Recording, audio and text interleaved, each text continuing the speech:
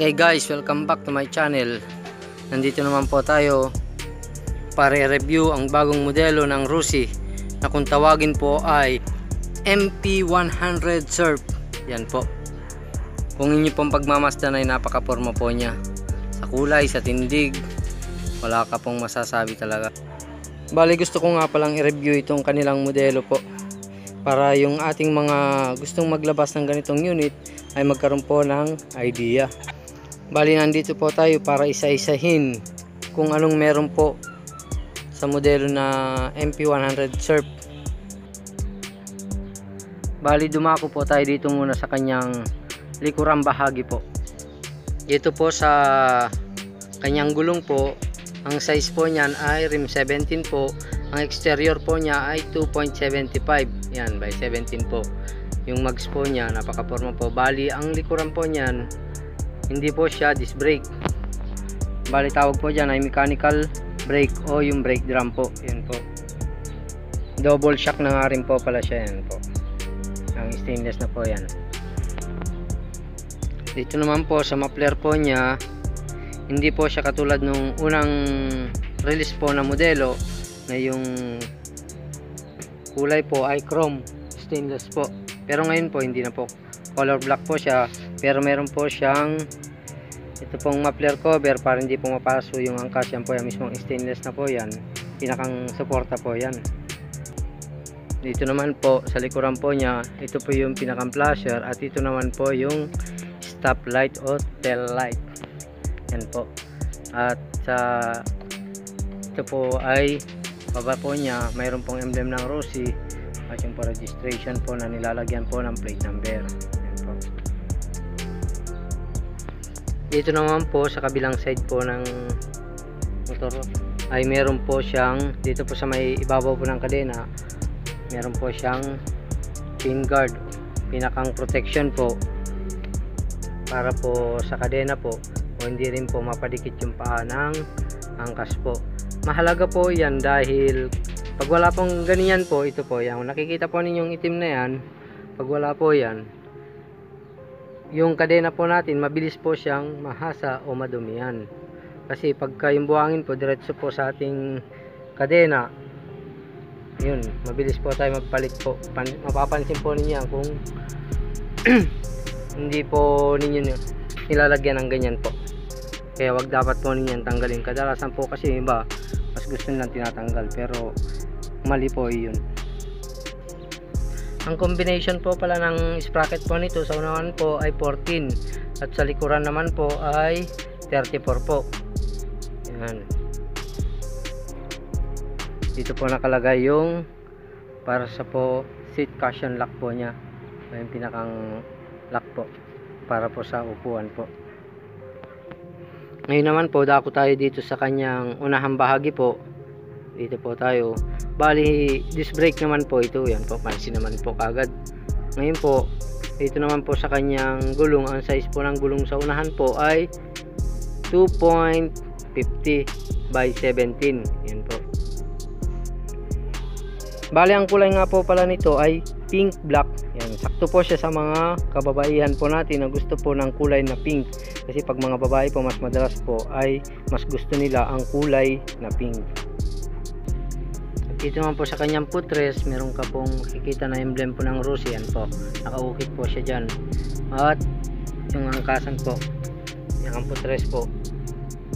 Dito naman po yung pinakang cambio po niya o shifting gear po. Usapang makina naman po tayo. Ito po ay 100cc lang po. Pero meron pa po variant nito na 125 po bali po yung ganitong modelo po isa po ito sa pinakamatipid po rin na motor nila kasi yung 1 liter po kaya pong umabot ng 60 km po. Ayon po yun sa mga customer po namin na naglabas na po ng ganitong unit. Kaya doon na lang din po ako nagbase sa pagtatanong ko po sa kanila. Dahil 100cc nga lang po siya napakatipid po niya. Bali dito naman po tayo sa kanyang fender po front fender o yung unang tapalodo meron pong emblem ng Rusi po dyan yan po At dito na po tayo dumako. Party baging ito po. Ayan po. Meron din pong Rosie. At dito po, kung inyo po mapapansin yung kanyang flasher o signal light dito po sa unahan. ito pong parang pakidlat na po yan. Yan po yung daylight running light po niya. Pero ang pinakang flasher po niya, yan po, LED light na po yan. Hindi na po siya yung bulb light. Yan po, halos napakaporma po kanya, ng kanyang unahang bahagi po. Ngayon naman po, dako tayo sa kanyang instrumental panel po. Yan po. Bali, wala po tayo makita dahil hindi po siya makikita kung hindi po under itong ganito pong unit. Yan po. Wala pong makikita po. Kaya kailangan muna natin paanda rin po. At yan nga po, na-under na po siya. Yan po, kitang kita po siya. Dahil maliwanag nga po, hindi po masyadong malinaw po yung kuha. Pero okay na rin po. Yan po. Yung nakikita po ninyo tumataas, yan po yung RPM po. At yung nagbi-blink naman po, yan po. Yan, sa gasolina naman po yan. Nakikita po niyo kung full tank po yan. Pa-neutral po siya. Bali nga pala, ano po ito? Ah, 4 speed lang.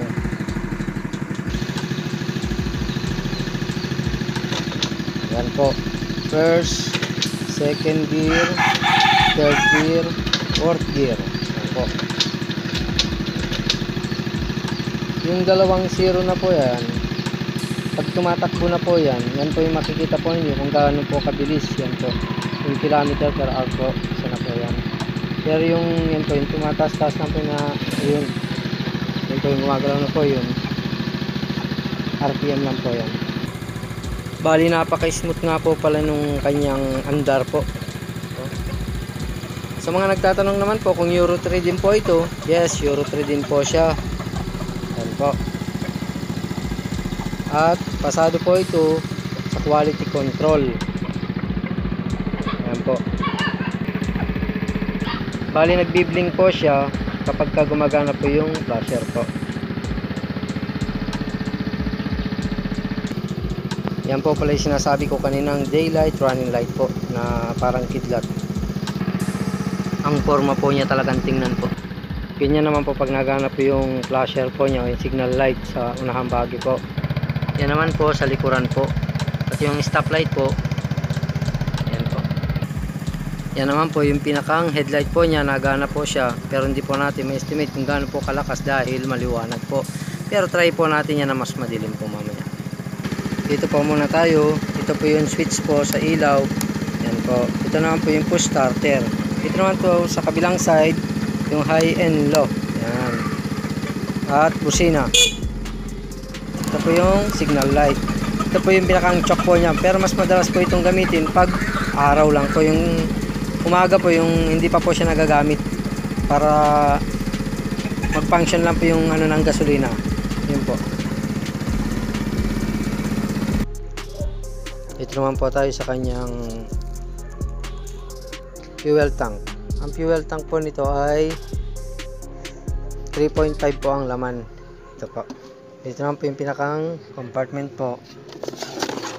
Dahil brand new pa po ito, wala pa po siyang battery. Nandyan din po nakalagay yung CDI. Ayun po. At starter relay. At ganun din po yung laser relay. Dito naman po yung kanyang chassis number po. Ito nga po pala yung kanyang back seat o yung pinakang hinawakan po ng angkas po. Meron din po siyang emblem ng Rossi po dito. Yan naman po yung kanyang carburetor po. Yan po. May nakikita po kayong parang hose, ito po. Para po yan sa Euro 3 po niya. Bali yung ganito po nilang unit ay automatic po ito. Sakto po sa mga kababaihan na gusto maglabas po. Bali yung ganitong unit po sigurado po hindi po kayo magsisisi pag nilabas po ninyo. Dahil napakaganda po ng performance po nito. Yan po, napaka-forma po talaga. Bali isa nga rin po pala ito sa kanilang best seller po. Yung ganitong unit po. Napaka benta po nito. Ang dami-dami ko na rin po nakikita ng mga ganito po sa kalsada dahil napakarami po na naglalabas ng ganitong unit. Yan po.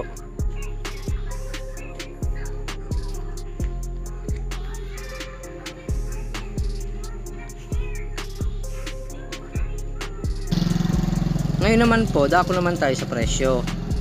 Bali sa kas nga po nito ay pwede po siya makuha ng 35,000. Pero nasa pag-uusap pa rin po yun. Negotiable pa rin po ang presyo nito. Kung sa inyong paglalabasan na branch or outlet po ng Rusi, nasa kanila pa rin po yun kung pwede pa pong mabawasan yung cash price po niya na 35,000. Yan ang kagandahan po sa Rusi. Sabot-sabot lang po. Ibig sabihin, negotiable pa rin po yung price. Pero, kung sa monthly installment naman po ninyo siya kukunin, pwede ka pong mag-down ng 2,000. Ang magiging monthly mo po, 1,695. Pero, kung updated po ang paghuhulog po, less 300 pa siya, 1,395 lang po. Yan po. Pero yung ganitong unit po, open contract nga po pala ito. Pwede po ninyo, pwede ninyo siyang ipa-option. Sa good as cash po.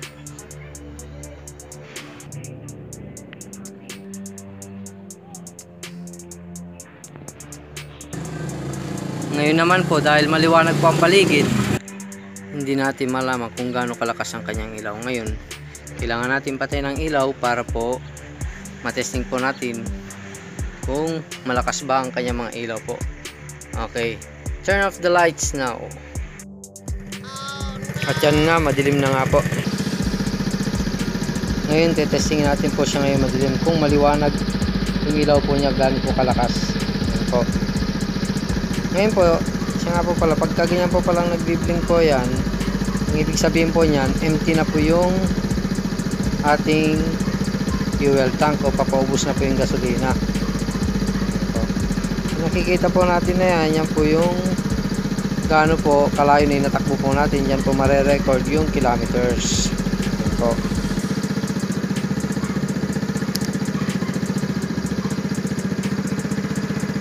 Yan po yung low po niya.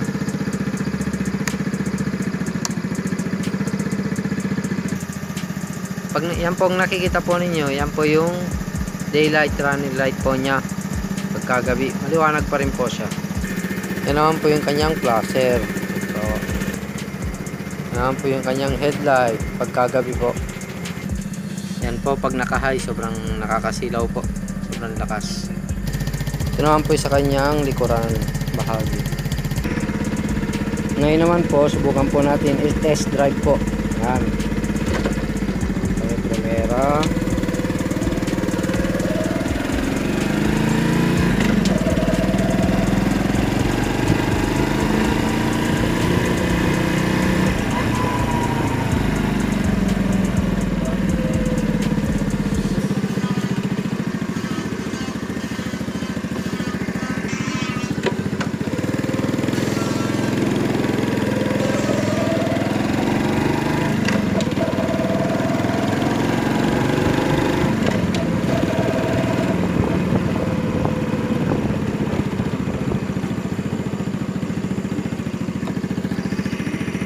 Yan po, dyan po ninyo nakikita po yung kung paano po kabilis yung o gaano kabilis. Yan po, nakita po niyo yung number.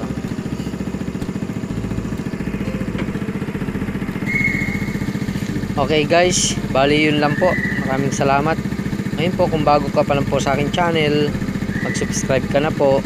Pagpindot na rin po yung notification bell para maging updated ka po sa mga bago pa pong magiging video na i-review na. Okay guys, yun lang po. Thank you very much po sa inyong panunod po.